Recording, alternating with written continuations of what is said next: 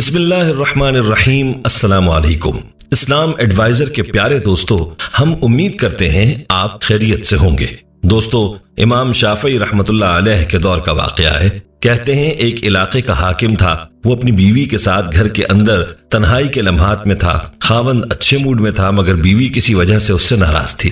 खावन जितना प्यार मोहब्बत की बातें करने की कोशिश करता, वो बीवी उससे उतना ही ज़्यादा चिढ़ रही थी और उससे बदतमीजी कर रही थी। और जब खावन ज़्यादा मोहब्बत करने की कोशिश करने लगा तो बीवी का दिमाग चूँकि गर्म था, उसने अपने खावन से कह दिया, जहन्नमी पीछे हट जा, मुझे हाथ मत लगाना। जैसे ही उसने अपने खावंद को जहन्नमी कहा तो आखिर वो भी मर्द था, उसको गुस्सा आ गया। उसने जवाब में कहा अच्छा अगर मैं जहन्नमी हूँ तो तुझे मेरी तरफ़ से तलाक है। अब रात गुजर गई। सुबह जब दोनों का दिमाग ठंडा हुआ तो औरत को भी अपनी गलती का एहसास हुआ कि मैं अपने खावन से नाराज़ तो थी, लेकिन मुझे अपने खावन से यह लफ्ज नहीं कहना चाहिए था कि जहन्नमी परे हट। अब वो अपने खावन से पूछने लगी सुने जी, क्या मुझे तलाक हो गई? उसने कहा, पता नहीं, ये तो शर्तिया थी कि अगर मैं जहन्नमी हूँ तो तुझे मेरी तरफ़ से तलाक, लिहाजा मुझे उलमा से पूछना पड़ेगा। खावंद ने उलमा को बुलाया। उलमा कहने लगे, इसका जवाब हम तो नहीं दे सकते, इसलिए कि कौन गारंटी दे सकता है कि आप जहन्नमी नहीं हैं? कौन फैसला कर सकता है? ये तो कयामत के दिन अल्लाह ताला फैसला करेंगे। लिहाजा ये बात जबान से आम हो गई। सैकड़ों उलमा से रबता किया गया, मगर कोई आलिम, कोई मुफ्ती इसका जवाब नहीं दे पा रहा था। बादशाह परेशान था। वो भी इतनी खूबसूरत बीवी को तलाक नहीं देना चाहता था। बीवी भी अब तलाक नहीं लेना चाहती थी। चुनाचे इमाम शाफी रहमतुल्लाह को किसी ने बताया कि फला इलाके में यह वाकया पेश आया है। उन्होंने फरमाया, मुझे वहाँ ले चलो, मैं इस सवाल का जवाब दे सकता हूँ। चुनाचे इमाम शाफी रहमतुल्लाह आए और उन्होंने हाकिम से पूछा कि क्या वाकया पेश आया। उसने बताया कि इस तरह मेरी बीवी ने ये अल्फाज कहे और मैंने इसके जवाब में ये अल्फाज कहे। अब बताएँ तलाक हुई कि नहीं। इमाम शाफी रहमतुल्लाह ने फरमाया कि बादशाह सलामत, इसका जवाब देने के लिए मुझे आपसे तन्हाई में कुछ बातें पूछना पड़ेंगी। उसने कहा, बहुत अच्छा। चुनाचे इमाम शाफी रहमतुल्लाह ने उससे कहा, बादशाह सलामत, मुझे ज़िंदगी का कोई ऐसा वाक़ बताइए कि जिसमें आप गुनाह करने का मौका रखते हो। गुनाह करना आपके लिए आसान हो, मगर अल्लाह रबुल्ज़त के डर की वजह से आपने अपने आप को बचाया हो। कोई वाक़ ऐसे सुनाए? बादशाह सोचता रहा, कहने लगा हाँ एक बार मेरी ज़िंदगी में यह वाक़ पेश आया। कैसे पेश आया? कहने लगा एक दफ़ा, जल्दी में अपने दफ्तर के काम से फारिग होकर मैं बेडरूम चला गया। जैसे ही दाखिल हुआ, मैंने देखा कि महल में काम करने वाली लड़की मेरे कमरे में चीज़ों को सवार रही थी, बिस्तर को ठीक कर रही थी। जब मेरी उसके चेहरे पर नज़र पड़ी तो लड़की हुस्नो जमाल में बहुत प्यारी थी। चुनाचे मैंने दरवाज़ा मुकफल किया और जब मैं आगे बढ़ा तो लड़की समझ गई कि मेरी नीयत खराब है। वो नेक थी, पाक दामन थी तो मेरी तरफ़ देखकर उसने कहा ए बादशाह, अल्लाह से डर। जैसे ही उसने ये लफ्ज कहा, अल्लाह से डर, मेरे दिल में डर आ गया और मैंने ताला खोल दिया और लड़की से कहा, चली जाओ। हालाँकि अगर मैं चाहता तो लड़की से अपनी ख्वाहिश पूरी कर लेता। मुझे किसी ने पूछना नहीं था, मगर उस नेक बच्ची के ये अल्फाज मेरे दिल पर बिजली बनकर गिरे और मुझे अल्लाह का खौफ आ गया और मैंने गुनाह के इस मौके से बचने के लिए उस लड़की को वापस भेज दिया। और ये एक ऐसा गुनाह है जो मैं कर सकता था, मगर अल्लाह के खौफ की वजह से मैंने नहीं किया। जब उसने ये वाक़ सुनाया तो इमाम शाफी ने उससे कह दिया कि आपकी बीवी को तलाक वाक़ नहीं हुई, इसलिए आप जहन्नमी नहीं, बल्कि जन्नती हैं। जब उन्होंने ये फतवा दिया, सारे उलमा उनसे बहस करने लग गए। आप कैसे कह सकते हैं? आप कैसे जन्नत का टिकट दे सकते हैं? क्या परमिट आपके हाथ में है कि आप कहें कि ये जन्नती है, ये जहन्नमी?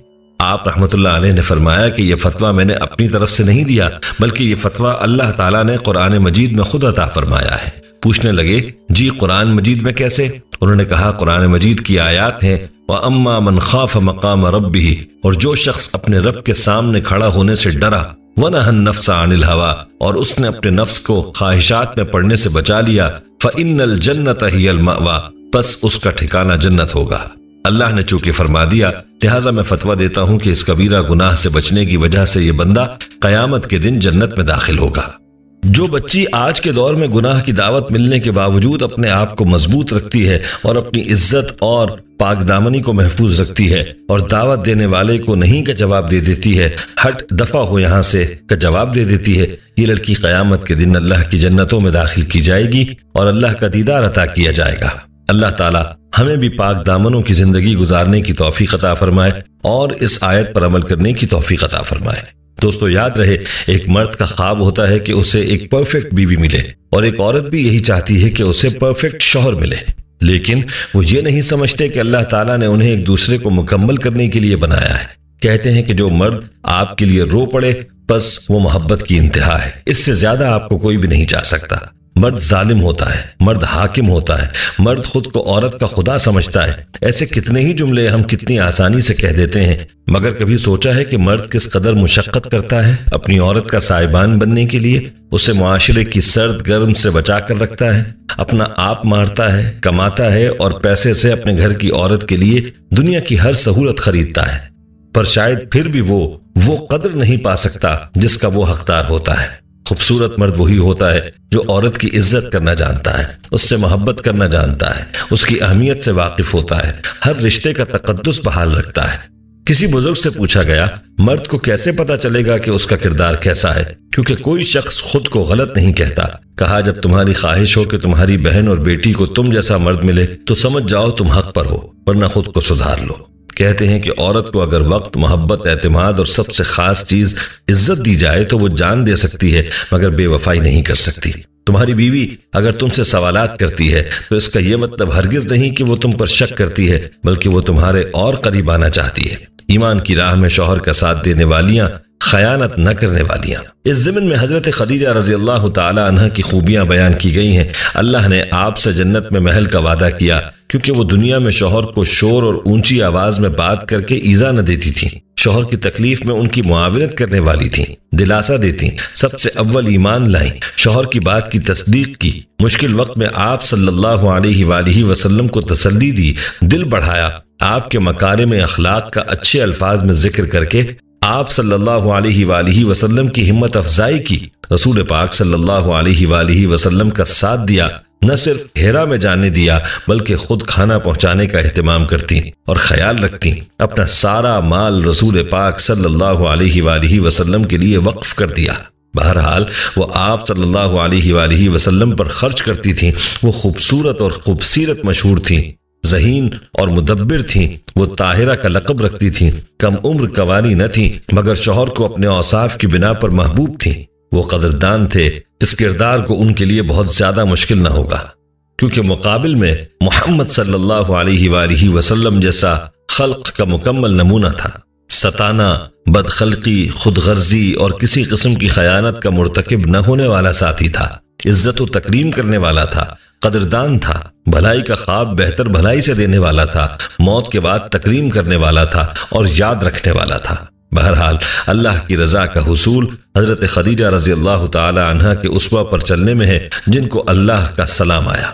इसलिए हमारी बहनों से गुजारिश है कि मगरब की तकलीद की सोच न रखें, हज़रत खदीजा रज़ी अल्लाह तहा के उसवा पर चलने वाली बने। अल्लाह हमें अमल की तोफ़ी अता फरमाए, आमीन। दोस्तों, आज की इस वीडियो को अपने दोस्तों के साथ ज़्यादा से ज़्यादा शेयर करें और अगर आप चाहते हैं कि हम आपके लिए आपकी मर्ज़ी का कोई वजीफा या मौजू लेकर आए तो आप इस बारे में हमें कमेंट सेक्शन में बता सकते हैं। हमें उम्मीद है कि आपको हमारी आज की ये वीडियो ज़रूर पसंद आई होगी। अगर आपको हमारी आज की ये वीडियो पसंद आई है तो सबसे पहले तो इस वीडियो को लाइक करें और अपनी राय का इजहार कमेंट सेक्शन में करें। और आपसे एक बार फिर दरखास्त है कि आप हमारे चैनल इस्लाम एडवाइजर को ज़रूर सब्सक्राइब कर लें और साथ ही लगे घंटी के बटन को भी क्लिक करें, ताकि आपके पास हमारी आने वाली मजीद वीडियोस का नोटिफिकेशन मिलता रहे। अल्लाह ताला आपको अपने हिफ्ज अमान में रखे। आमीन। अस्सलाम वालेकुम वरहमतुल्लाहि वबरकातुहू